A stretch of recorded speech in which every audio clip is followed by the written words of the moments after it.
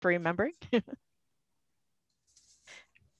so all that, all that, all that, and then NEAT.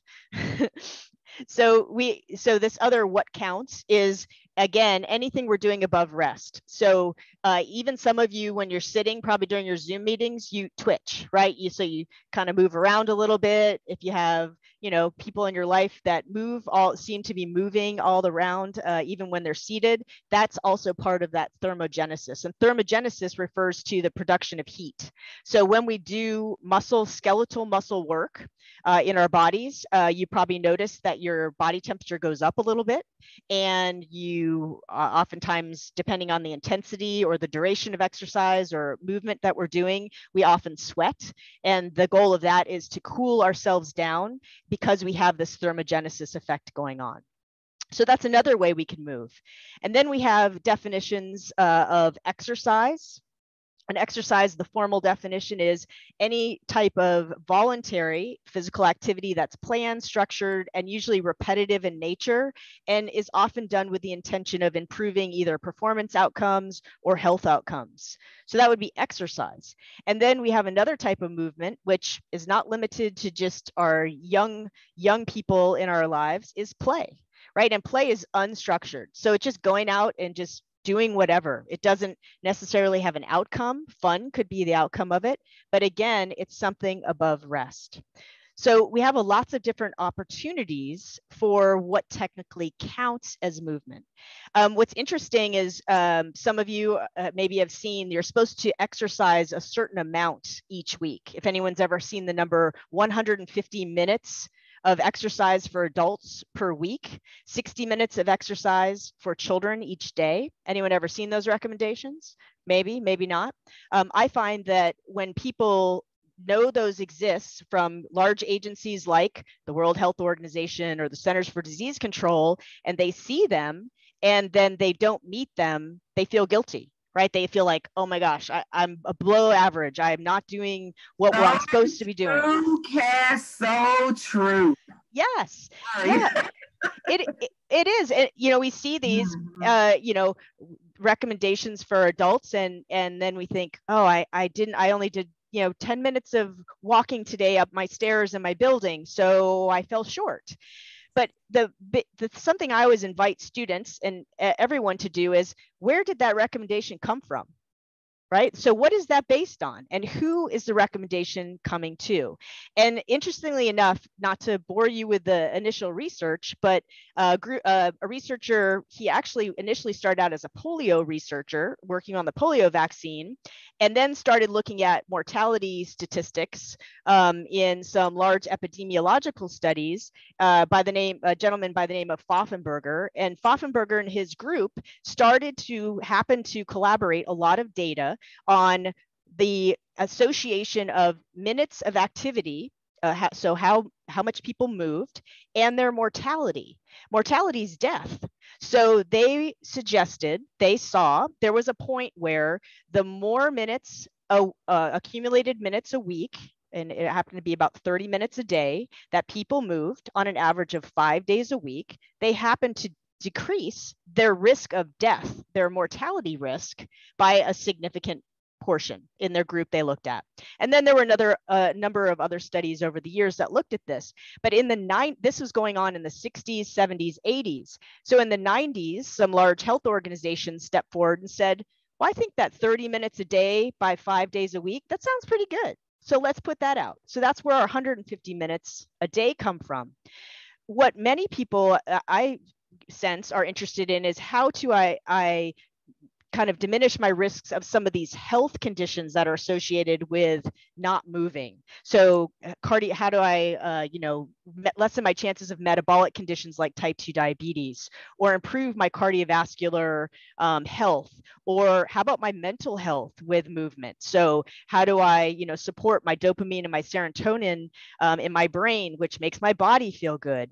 Um, the that doesn't have any strong backing of it has to be 150 minutes each week. And so again um, something you know a constraint that's been placed on many of us that if we look at the original research, it's really comes down what it's done for much of the exercise world is sort of medicalized or given the idea that there's this dose response. If you do a certain amount of activity, you're guaranteed this response. And the the long story short is it's not that simple, right? It's so individual and there are so many things to think about. So back we go back to this idea of well, what can we do more of? Could we move more? And then how do the benefits end up uh, coming, be becoming more part of the individual's experience? So I open it to the chat. What are some barriers to your own movement? Or if you want to answer for a friend, because you don't want to share your own. never, never. Yeah, never me. It's always my friend. Yes.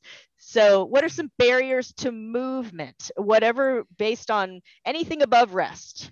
So, what are some barriers? Anyone want to throw this out in the chat?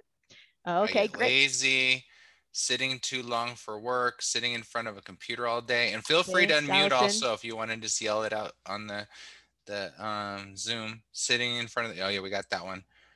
Injuries. Injury. I mentioned before. I'm just gonna be 100% honest. I mentioned to Cass, sometimes I feel like my body isn't attractive enough to hit the gym and get that movement in. So it keeps me away.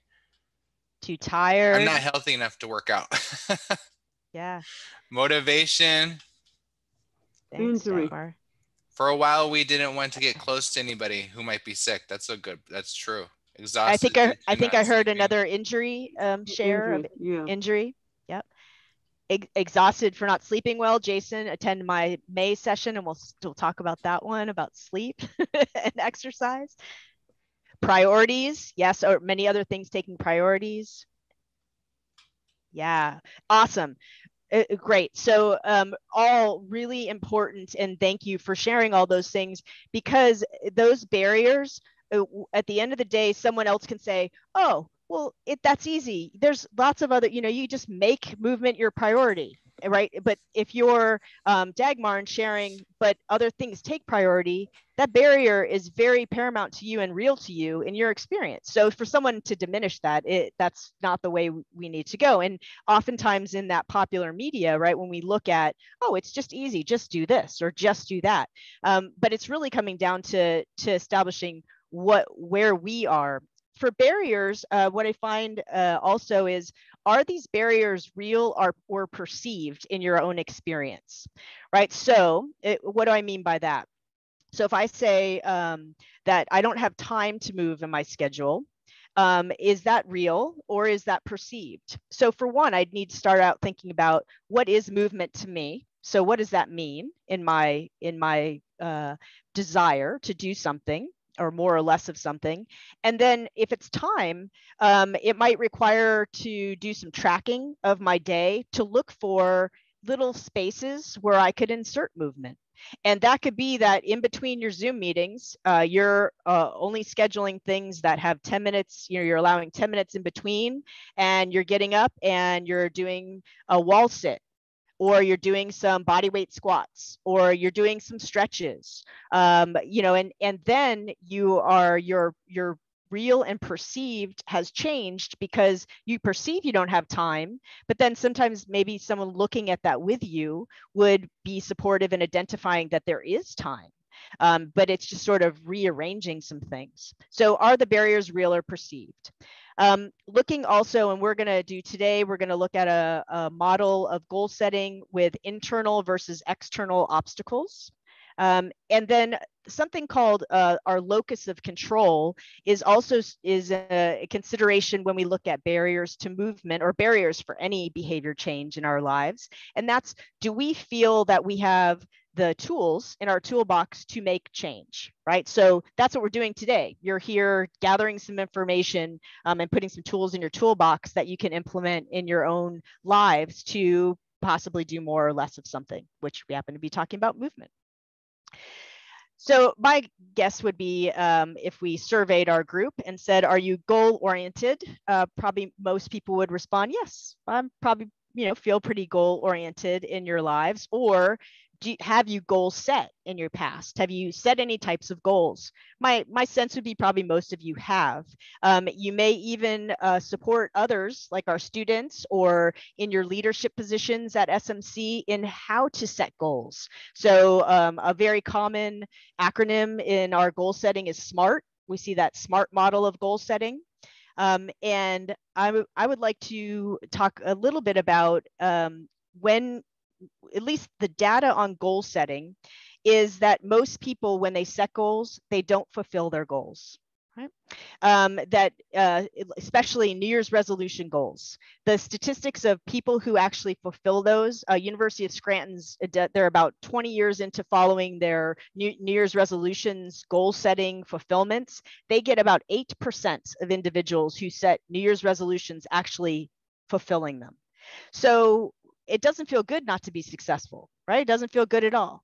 So, what is it about goal setting? Could we do some pre work before we even get to establishing what our plan of action is going to be? And I, I liken this analogy to if we were going to build a house and we uh, chose a place and we didn't take time to grade our pad and set a really good foundation. We kind of just thought, yeah, we got the scrap material. We'll just throw a bunch of stuff together. We just want to get the walls up and get it painted so it looks beautiful on the outside, right? But if we don't establish that foundation, as we start adding layers to that, more than likely, we're not going to have a steady structure or we're going to have collapse in one area or we're going to have compromise in one area so this uh, example I'd like to share with you today is a way of doing the pre-work before we even think about the action part of this. Um, also looking at what type of goals we're setting. Um, so the, the second line is types of goals uh, being outcome goals, process goals, and performance goals. And I'd have to say um, in the, the work uh, that I've done with individuals with goal setting, many times people pick outcome goals. And so, an example of an outcome goal in sports uh, would be for a team to say, we want to win the championship, right? Or for um, a, a student athlete to say, I want to get a scholarship to a Division One school, right? That would be an outcome goal. And part of that outcome or a characteristic of outcome goals is that they there's a lot in that goal that is not in your locus of control, meaning there are other people competing for that same thing. Uh, oftentimes there are so, so, like if you're working with students that want to transfer and they say I want to get into whatever Sherry Lee Lewis has UCLA to get into UCLA and they say that's what I want to do that's their outcome goal you say that's great but there are there's a selection committee there's a process and however many thousands of other students competing for that acceptance. But that would be an example of an outcome goal. Doesn't mean it's not a, a goal that we could be working towards, but many times people they they select these outcome goals and already they have taken on something that may be out of the oops, out of the realm of um, realistic or out of the realm of small successes leading to, if you use the staircase model of goal setting, we do step by step, right? We're progressing towards this thing that's at the top of the stairs that we're working towards. And so we can stop and think, okay, the last goal that I took on, what type of goal was it? Was it this outcome goal? Was it a process goal? So the process goal would be that step by step. I say, all right, uh, I'm working towards um, this in maybe in a, in your career, or let's say movement. Um, I would like to walk uh, five miles in a certain amount of time. Uh, and right now I can barely walk a mile. So I'm going to break that down over maybe six months. And I'm going to make a plan or my process of how to work towards that that whole goal, that that goal of five miles. Um, so that would be a process goal. And uh, often with our behavior goals that are related to our health and wellness, process goals are pretty important because we know that things like increasing our movement have other behaviors that are often attached to them. So could we break that apart and then making it more manageable uh, into little pieces that we're working towards, they all come together and coalesce to reach that, to fulfill our overall goal.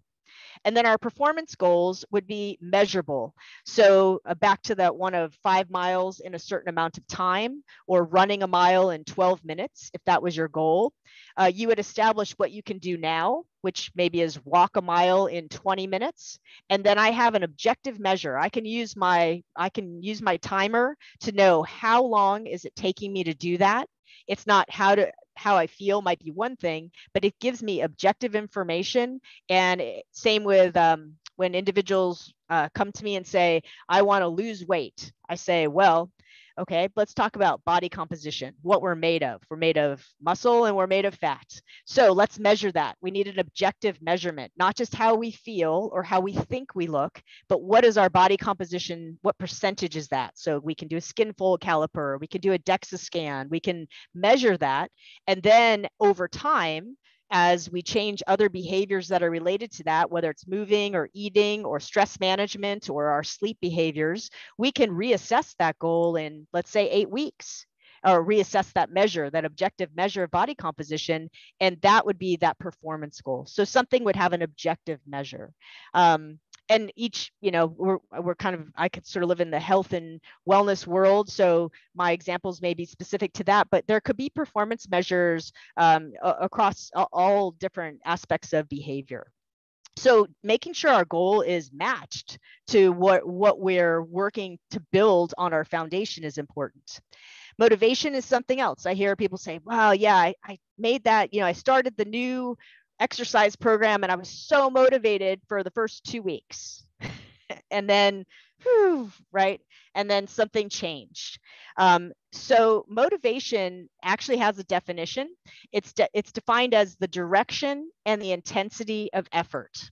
So the direction of effort comes down to that goal setting so are we working towards something that's specific to where we want to go with that? An example would be if if you wanted to become a um, a faster swimmer, um, but you don't go to the pool, you only run. More than likely, the direction of that motivation is going to diminish over time because you're not going to see progress in your swimming.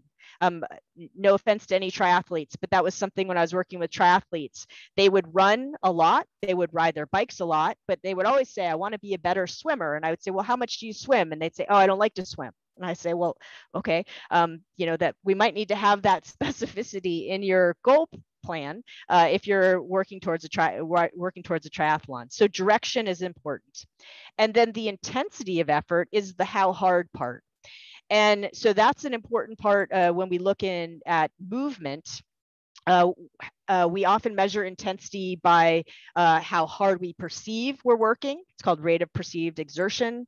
Or we can measure, like some of you probably have smart devices. You wear your, your Fitbits or your smartwatches and you measure your heart rate and how, how fast your, how many beats your heart minute, how many times your heart beats per minute. And that can be a measure of intensity. Um, we can also use other measures of intensity. Um, you know, how hard we're breathing. So our ventilation rate during movement could give us a measure of that. And there's different percentages. We talk about low intensity, moderate intensity, and high intensity. And that really suggests that how um, challenging is that movement to your body and that it has to overcome moving from rest to say doing uh, a pilates or a yoga class might be considered more low to moderate intensity uh, versus if we go on a walk it could be moderate intensity but that same walk if we are walking up a hill or if we're doing the culver stairs or we're going for a hike in one of the canyons can quickly move from a moderate intensity effort to a high intensity. So now it can start going up a, uh, more intense. So the intensity also comes down to when we make a behavior change, is that intensity sustainable so right we're all excited in that first couple weeks but then life kicks in or um, I worked with someone who started a behavior modification program when they were on holiday. So they had two weeks off they made implemented all these behavior changes and then came back to reality which was their work schedule their life schedule and went i can't do it. I can't maintain it. So the intensity was a mismatch to what the other demands were in their environment. So we you know we we think about that as well direction and intensity of effort.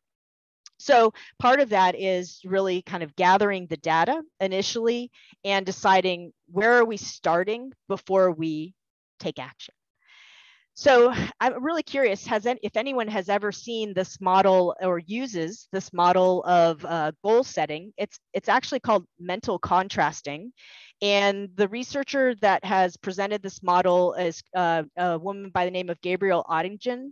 And I'll put the link, uh, maybe when we're done, or I can share my slide deck. I put a link to a couple of her talks um, on this model of goal setting, and it's called the WOOP model, W O O P.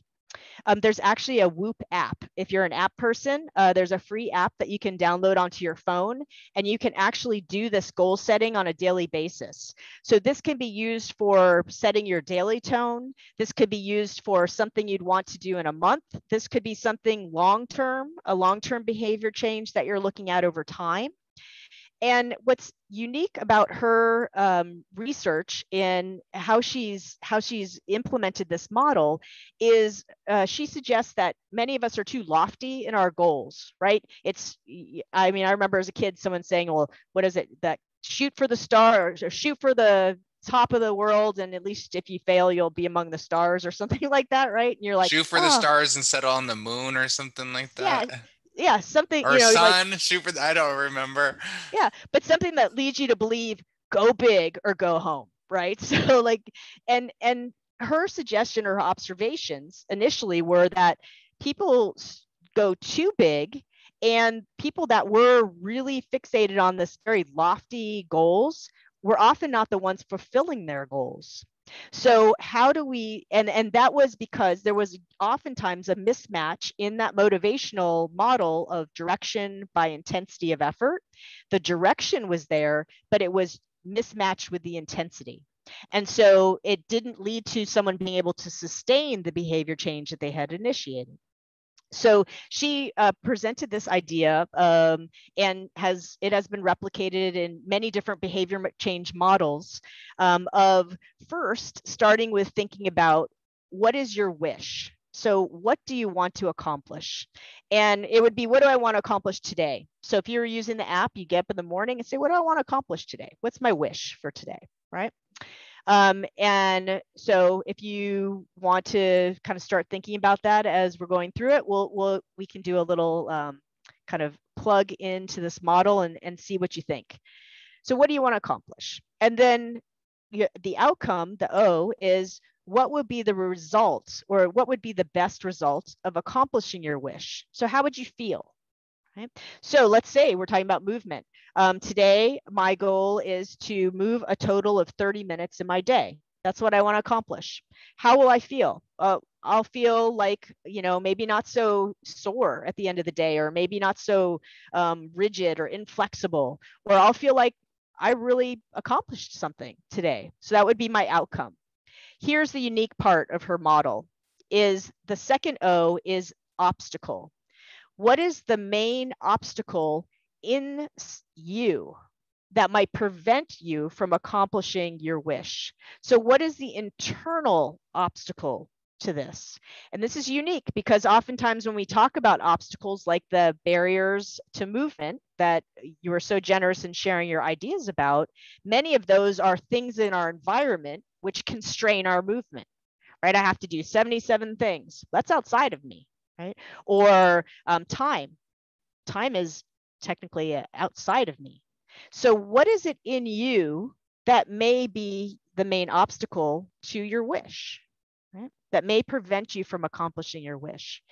And then is her P in the WOOP model is what is going to be the plan to tackle that obstacle.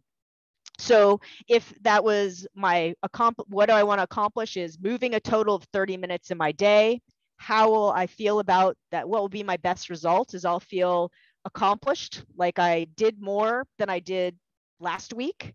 Um, so I'll feel good, or maybe mentally I'll feel clear. I won't feel so kind of, you know, fatigued. It'll make me feel more energized. And then if I think about what is the obstacle inside myself, well, maybe it's that I don't feel that that's sufficient, right? I feel that I need to move more than 30 total minutes in a day for it to be worth it. Maybe that's my internal obstacle is how I perceive that. So, what's the effective plan to tackle that? So, if that thought process starts to come into my mind that it's not even worth it. What difference does 30 minutes of total movement make? It's not going to make me an Olympic athlete. So who cares? Or who's going to know that I don't do it?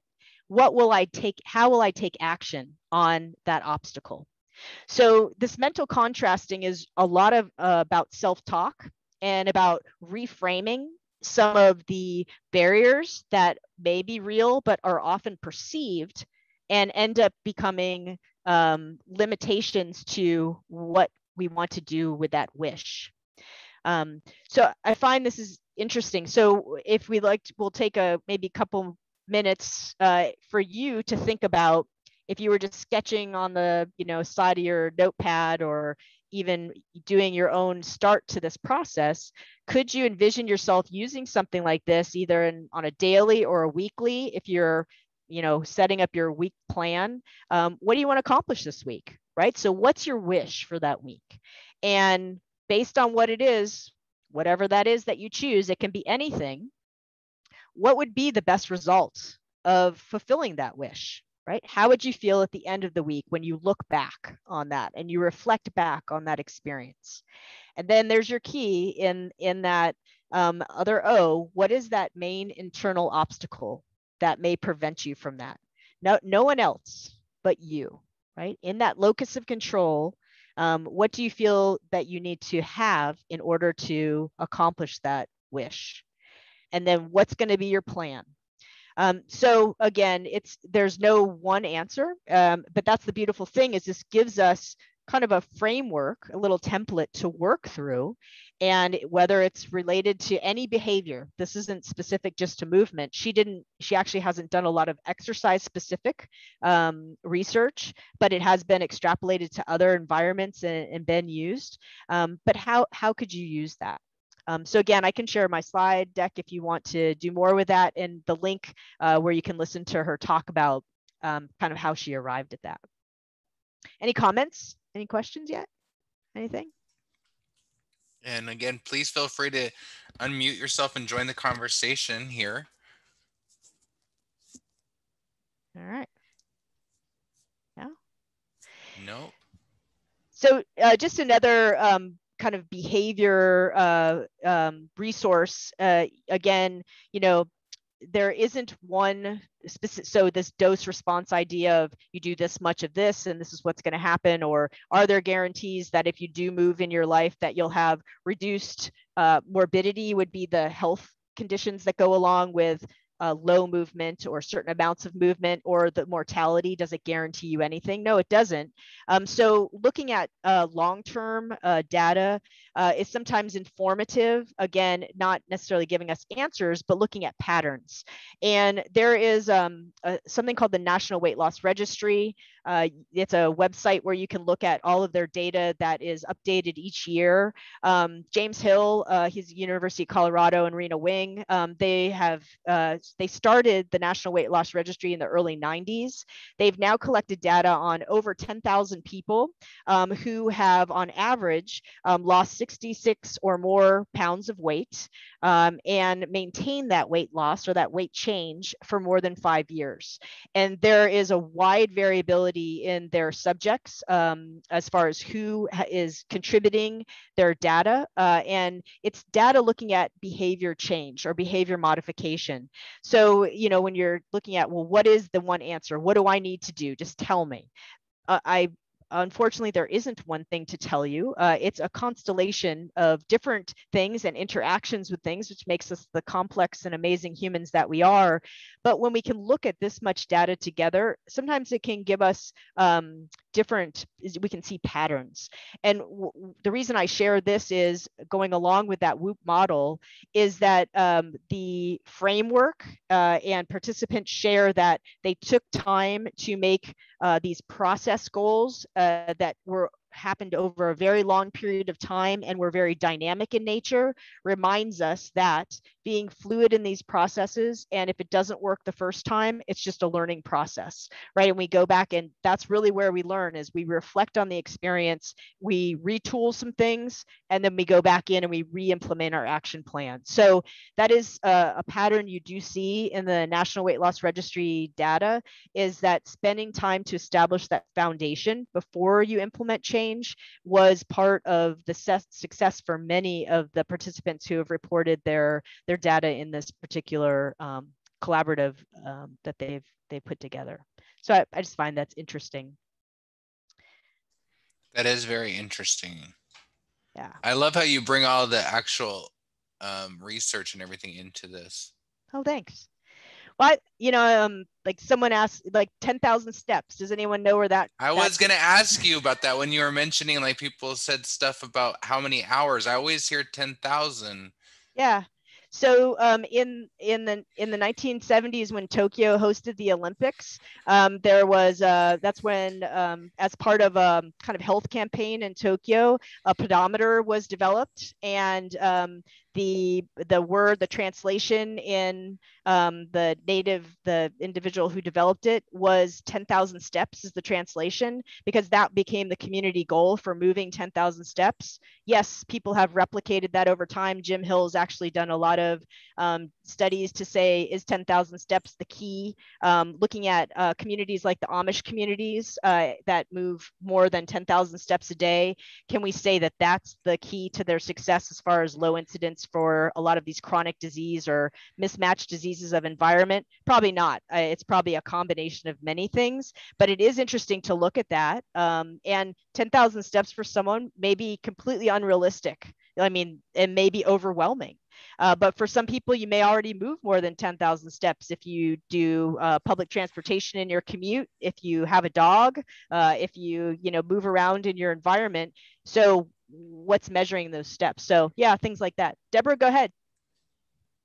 Yeah, I had heard recently that that the 10,000 steps was just a, a marketing ploy, uh, a ploy for uh, the Japanese to sell pedometers. They created this little device and they wanted to sell them. So they came out with, they generated this data, whatever to say that 10,000 step was the magic number. You're you know anything about that? Yeah exactly. It was it was really it was the theme or kind of the the title of the pedometer. It was the community health health initiative was 10,000 steps. And it was hey if people are coming here for the olympics we want to show everyone we're an active culture. Um, we take health as a priority. And so yes that's exactly what it came from. Um, and like uh, you know i said it, it has served as the baseline for consequent studies in the years following. But yeah it's not the magic number. There's probably people that are going, I do more than 10,000 steps a day. And what has it gotten me? Right. So, yeah, you're exactly right. We really need to look at um, where that comes from. So, thanks for mentioning that. Yeah. You know, Cass, on the, I'm sure people are more advanced than me in terms of technology, but I found on the iPhone where it shows like this week or this day how many steps you've done and I walk. I used to walk a lot, and I would find ten thousand very difficult. But I would look at at least the day that I walked the most and try to always keep up with that, and that helped me personally. Instead of trying to always get that ten thousand, just try to always do whatever my best, my personal best is. Try to stay around. I I created my own like personal best so that was it was like we just coordinated that to transition to this last slide. So thanks. Oh okay. That was perfect. i'm glad to help. That was awesome. Yeah we didn't we didn't schedule that. That just happened naturally. Organically. Organically yes. So i mean and you know that's when we talk about strategies for movement baseline. So what does that mean? So um, before we make a change or suggest that we need to do more of something figure out where you are right? So not based on someone else's standard, but for you. Figure out where you are. So, you know, Alan's point of we have most of us have phones. Uh, most of us have smartphones and not flip phones, and um, that will actually track our movement. They're tracking more data than probably we're aware of. Um, but most phones have some type of health app on them that comes with them. There's a number of free apps that you can get as well. Um, you know, the so it gives us this kind of objective number uh, that we can look at ourselves, and we can say, oh, on average, I move this much in a day. And you can also say to yourself, um, you know, um, part of exercise, or I should say, part of movement in our environment, if our environment doesn't naturally invite us to move, we kind of have to make movement necessary. But most importantly, we have to make it fun right? So if it's not fun, we're probably not going to sustain it. If it's not, or maybe not even fun, but enjoyable. So having something that we can use to look at to say, oh, I, I moved this much, or it can be, you know, each time you move, you can hit your uh, your stopwatch, and it can just accumulate minutes over time. And then you look back in your day and say, oh, in 24 hours, if that's what we measure metabolism in, in energy expenditure, that non exercise activity thermogenesis, I moved this many minutes. Oh, okay. Well, track that over a week and see what that average is. And then uh, go from there and say, next week, my goal is five more minutes in my week but now i have an objective measure and i can repeat that right i can i can go back and look at that source um, so smart devices do have their um, use. Uh, I would say that you don't have to have one necessarily. Pedometers um, are still a very affordable um, type of tracking device. They usually hook on, um, you wear them. Uh, most of our phones have what are called accelerometers in them. And accelerometers measure more planes of motion. So pedometers are usually forward and backwards motion. Accelerometers will pick up side to side motions or change of planes like high to low type movements if you're doing things and you're wearing your devices. Um, interesting story uh, about pedometers. Uh, a, a, friend of mine was doing a really large movement study um, about 15 years ago, and they got all these pedometers, and they had about 3,000 people in their study.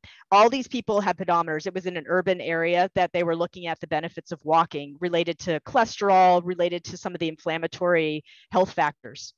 So all these individuals were wearing pedometers and they started collecting the data and the numbers were insane. They were like people were moving like 200,000 steps a day. Like so you think about the equivalent more or less of 10,000 steps is about 5 miles roughly. So you think about the miles that people were doing. And so they were going back in going, what do these people do? Like are they working in factories? Are they working in huge warehouses where they're walking like crazy amounts of miles per day?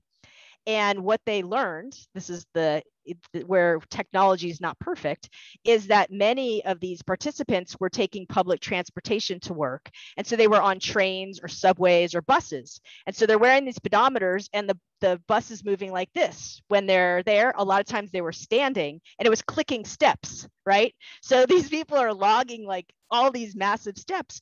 And you know they weren't seeing the changes in the different health markers. So do know the devices that you're using and what you're choosing um, because data's it just gives us this idea right? It's not perfect. Just like think of them as estimates. Um, unless you're going into um, like a physiology lab and doing things like vo2 max testing and we're doing really specific targeted testing and then we have those numbers but otherwise just kind of use it as your general reference so yeah it, it was kind of no a, thank a you for story. that because i leave my phone on my desk often and so it doesn't count all my steps to the restroom or the copier machine or printer yeah. and all that so i'm like that's not fair yeah, you need to get one of those little holster things. Yeah, exactly.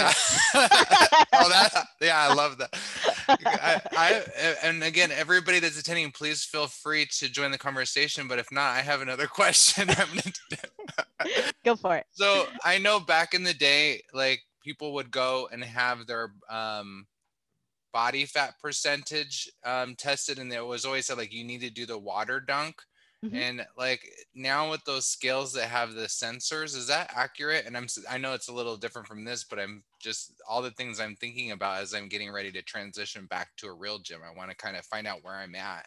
Yeah, that's great. So the um the so the water dunk you're talking about is uh, basically underwater weighing and for it it determines with body composition and we're looking at how much how much fat weight we are both essential and non-essential and how much muscle weight we are. And the combination of those two gives us this number called body fat percent.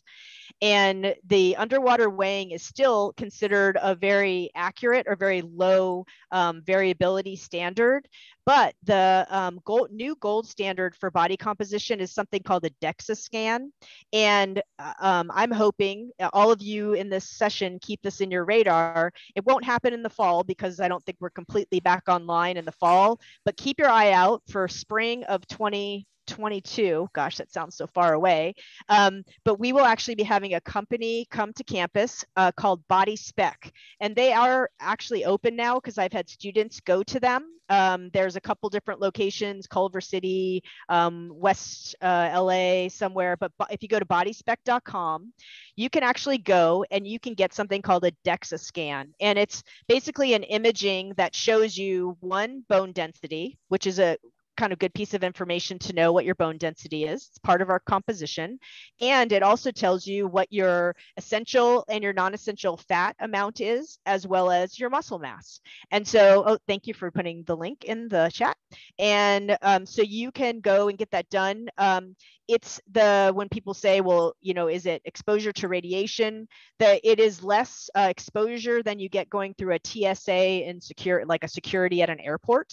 Um, so you can take you can read more about the imaging. You just basically lay there on the table it scans you and it gives you all of this information. So that would be uh, you know a good baseline. When we're talking about baselines when you're looking at what am i made of um, that would be a great one for that and that's the gold standard in the exercise physiology Thank world. Thank you. I'm yeah. making an appointment today. cool. Yeah, it's really fascinating. And when you get it, let me know and we can go through it.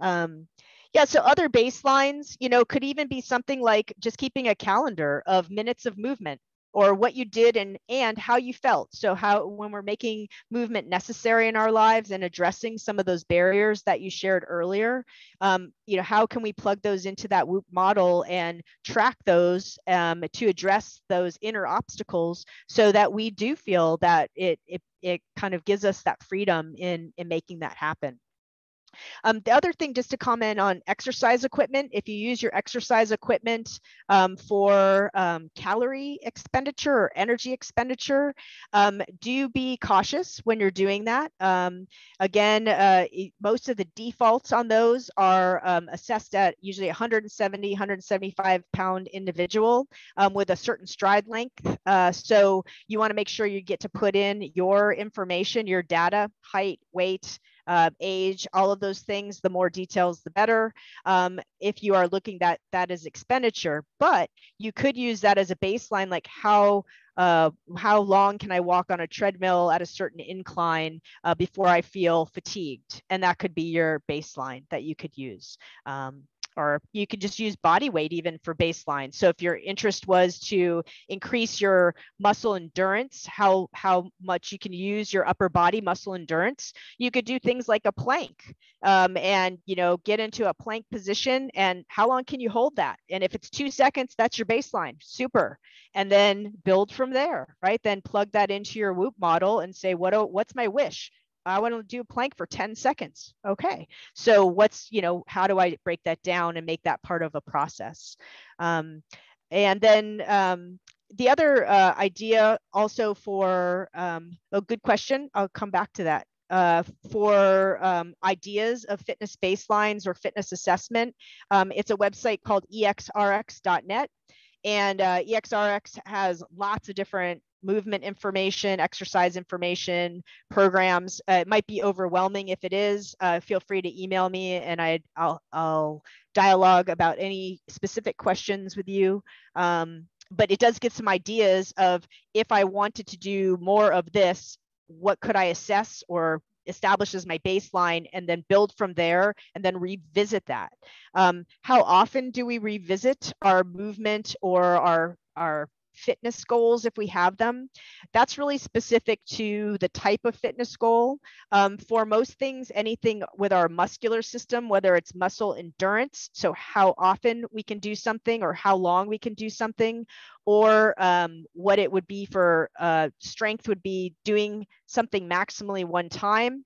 Uh, from the physiology from the adaptation standpoint, uh, it takes about four to six weeks before we really start to have neurological changes in our body to do more work. So you really don't need to be assessing that kind of stuff every day. Um, so get your baseline, start your behavior change and then revisit it maybe every four to six weeks. Um, and the same for like if you're walking, um, if we're increasing our minutes of walking over time, we would expect in a month or a month and a half of doing that different behavior or that new behavior that we would start to increase our capacity to do that. A question came up in the chat about good exercise recommending recommending exercise for bad cholesterol. Um, you know, that's a, I would prefer if you want to talk about that more, email me. And only because there's lots more that goes to that um, with that. Um, we would want to talk about stress levels and uh, what we eat and how you sleep and do you have familial high cholesterol or hypercholesteremia um, you know what is considered bad cholesterol? Are we talking about total cholesterols or uh, ldls or hdls uh, you know exercise uh, from a data standpoint uh, any movement above rest appears to have benefits. It's going to take different amounts and different time per the individual. Um, and I know that sounds kind of like a really sort of default statement, but I think we're led in the popular media to believe that if we do one specific thing, everyone will have the same outcome. And we know that's not the case. Uh, it's so individual. Um, and, and it, it's pretty unique. So yeah, send me an email and I'm happy to talk about that. All right, so in the interest of time, um, uh, I guess this, so this is just a slide for the next session, but uh, just to wrap up, did anyone have any thoughts or was the WOOP model new for anybody or was it something you've already used? Any other things? Throw them, share, put them in the chat. Any ideas? Everybody's quiet. I think anything reg- regarding fitness and things get people are maybe more timid to join the conversation. Yeah, maybe. That's a big thing, you know, is um Okay, we got some. Good. Yeah. Never heard of WOOP? Yeah, Allison WOOP would be right up the alley of the Center for Wellness and Wellbeing. And Give, Lee mentioned WOOP the newest part was the inside yourself part. Yeah, I never heard of that WOOP either, but it's really good. Yeah yeah and that's you know the the biggest thing is we we have these preconceived notions in our mind that we have to do a certain amount of something for it to count. Um, but as we have less opportunities to organically move in our environments how do we create those opportunities right? And and knowing that any movement is a great place to start. And and it's getting maybe that's the initial barrier for many of us right? The thinking of oh it's not enough or oh it won't help or oh it won't this. But let that go you know and and just do it. See how it feels. So yeah my email's there. Um you know, I, I love being part of our community and getting to know more of our community. So reach out, send me if you have questions or um, anything. I, I, always welcome them um, and have any conversation. Uh, I appreciate you guys taking the time or making the time today to to join us. So yeah.